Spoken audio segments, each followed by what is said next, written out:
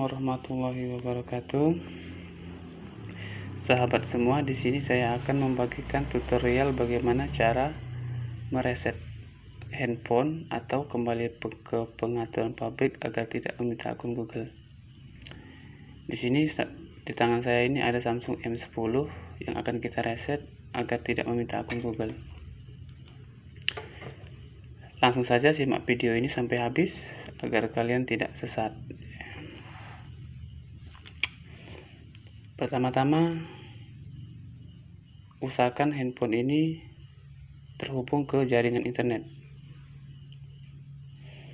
Selanjutnya kita buka pengaturan.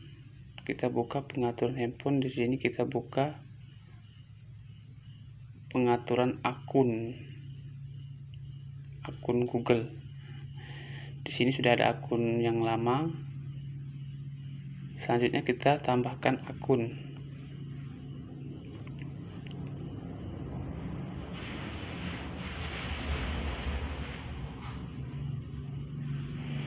Nah, di sini sahabat harus menambahkan akun yang sudah sahabat hafal.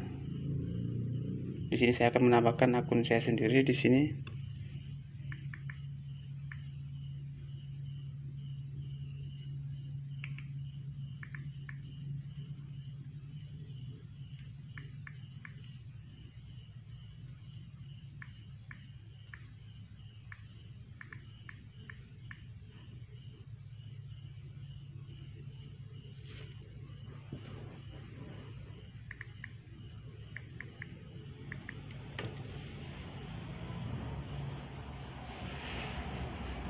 Nah, ini akun saya sudah saya tambahkan. Sebenarnya akun ini tidak perlu, cuman sekedar untuk jaga-jaga apabila handphone setelah direset ulang ke data pabrik dia meminta akun, maka kita sudah tahu akun apa yang akan diminta.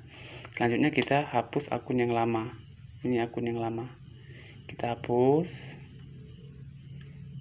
Setelah kita hapus, kita kembalikan ke menu kita buka pengatur kita buka Play Store untuk memastikan apakah akun tersebut sudah tersinkron atau belum. Nah, ternyata akun tersebut sudah tersinkron. Setelah itu, jangan kita langsung mereset handphone. Handphone kita reset ulang kembali. Untuk memastikan agar akun tersebut benar-benar sudah tersinkron.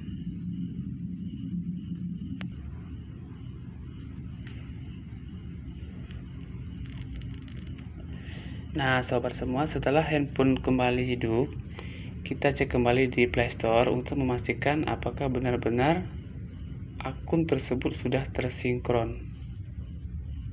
Nah, ini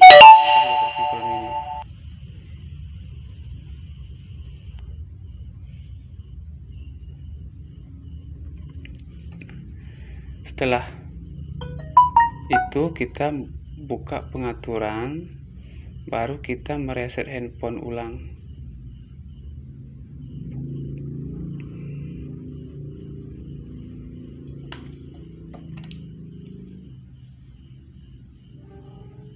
Reset data pabrik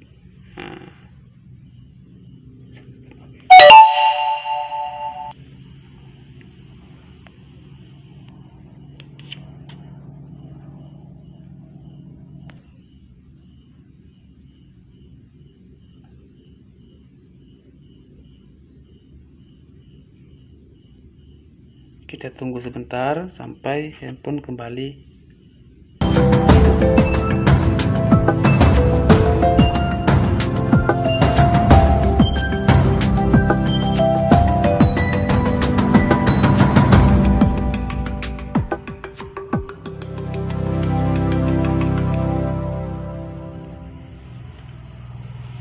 Nah, sobat semua di sini sudah selesai. Sebelum kita melanjutkan untuk finishing handphone terlebih dahulu kita mengeluarkan kartu SIM card yang ada di handphone agar finishing handphone tersebut tidak terlalu lama. Oke nah kita terus lanjut. Berikut.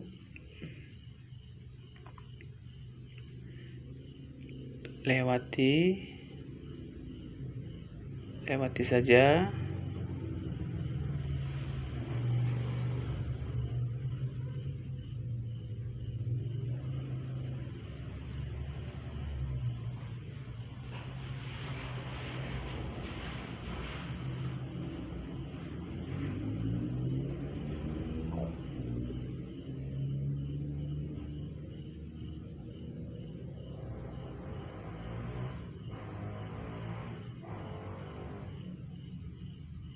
Nah, di sini sudah terbuka. Ternyata handphone ini tidak meminta akun Google.